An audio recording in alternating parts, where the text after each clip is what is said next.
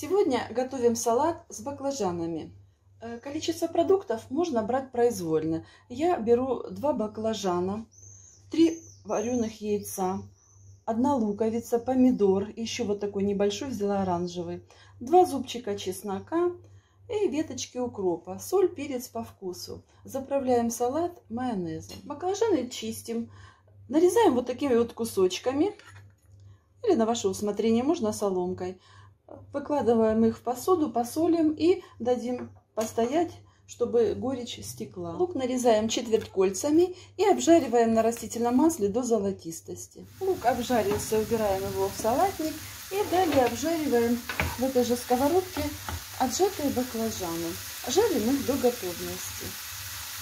Баклажаны готовы и остужаем их. Яйца нарезаем кубиком, не мелко. Вот примерно так.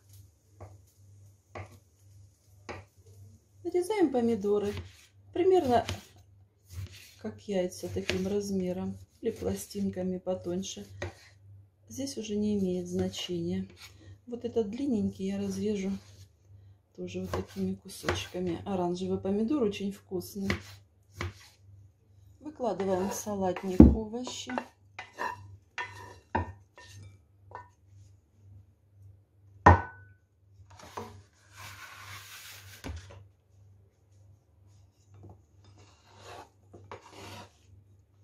Добавляем яйца. Добавляем зелень.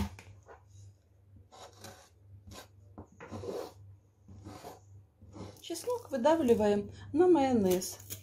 Так будет нам удобнее его соединить. Добавим соль, перец по вкусу и перемешиваем салат.